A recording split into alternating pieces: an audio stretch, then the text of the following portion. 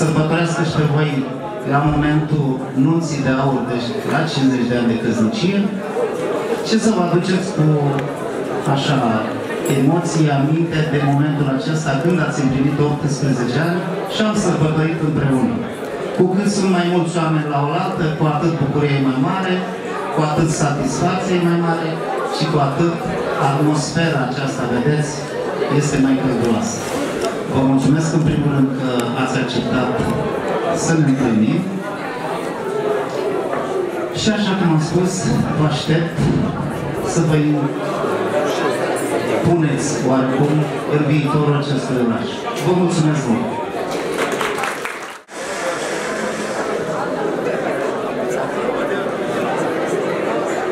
Urmează Drugă, Vlad, Gabriel.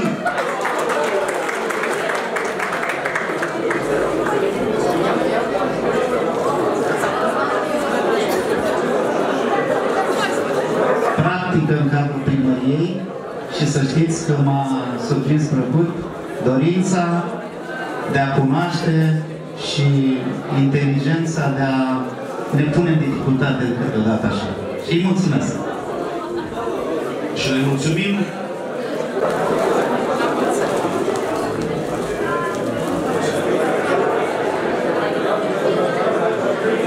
Primăria a făcut un eveniment pentru tine și pentru prima dată când se întâmplă chestia asta. Cum ți-a părut ce au, ce au făcut ei aici și, nu știu, ai vrea să se întâmple mai des sau ce părere ai? A fost un eveniment frumos, da, aș vrea să se întâmple mai des. Da? Ce ați primit voi de la, de la primul? Am văzut niște diplome, o sumă de bani, spune așa câteva cuvinte. A fost un gest foarte frumos din partea primarului, nu s-a mai întâmplat așa ceva până acum și cam atât. Da. Uh, următoarea premiere o să fie probabil atunci când veți fi tineri căsătoriți. Vor mai trece niște ani până atunci. Primarii, primaria a oferit bani și pentru tineri și pentru, cei, și pentru seniori. Până acum nu s-a întâmplat chestia asta și aș vrea să-mi spui tu ce părere ai despre treaba asta.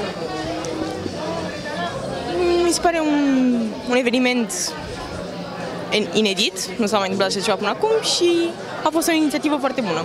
Spunem, cum ți se pare evenimentul din seara asta? Ce a făcut primăria aici? Foarte bun. Da? Ce ți-a plăcut cel mai mult? Petrecerea, tot, muzicanți. Am mâncat. Da? E pentru prima dată când primăria face așa ceva. Ai vrea să mai repete astfel de evenimente? Da, de ce nu? Să facă un bine societății, de ce nu? Da? Ce părere ai despre ce a făcut primarul? Ați și dansat cu voi? Ați... Foarte bine. nu plecați! Mulți ani, la mulți ani, sănătoși și fericiți. La mulți ani, la mulți ani, la mulți ani, sănătoși și fericiți. Și voi care? Bun.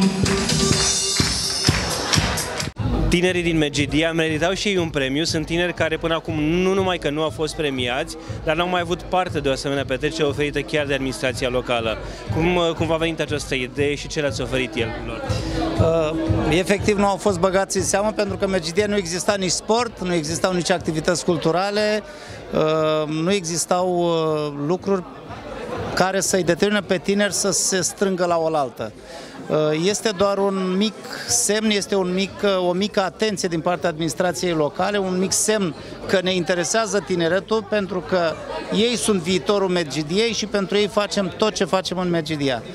Prin aceste activități îi atragem și uh, invităm să vină alături de administrația locală, să se implice în activitățile uh, orașului în care trăiesc și să fie foarte atenți pentru că le aparține viitorul și ei vor trăi în acest oraș. Și cred că, și am văzut după cum ați văzut și dumneavoastră, că sunt extrem de interesați în ce oraș vor trăi în viitor și vor face parte din tinerii care nu vor pleca din Megidia, ba din contră vor determina și alți tineri care din nefericire și pe bună dreptate au plecat cu ani înainte.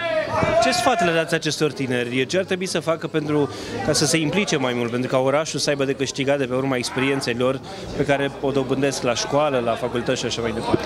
Uh, Să știți că am deschis ușile instituției, ușile primăriei, uh, implicându-i în activități diverse. În cel mai scurt timp o să vedeți mulți tineri care au venit cu idei și datorită lor și ideilor lor cu sprijinul administrației locale vom dezvolta activități specifice tinerilor și veți vedea un oraș frumos. Un oraș care acum 2 ani și jumătate se spunea că e un oraș mort, e un oraș fără economie, tinerii sunt plecați, locuri de muncă nu sunt și uitați că după 2 ani jumate se vede că Medgidia a avut întotdeauna potențial, numai că cineva nu a vrut ca acest oraș să fie ce merită să fie de fapt.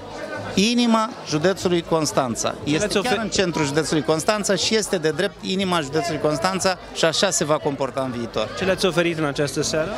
Uh, Le-am oferit, uh, să spun, uh, un buchet de flori, după cum ați venit, o diplomă și felicitări și mulțumirile noastre pentru implicare și pentru respectul pe care îl poartă și prin manifestările lor uh, legat de activitățile culturale și sportive din Megidia, unde, după cum știți, Megidia deja câștigă competiții, deja la nivel național emite pretenții și e un lucru bun. Și lucrul acesta se datorează lor, tinerilor,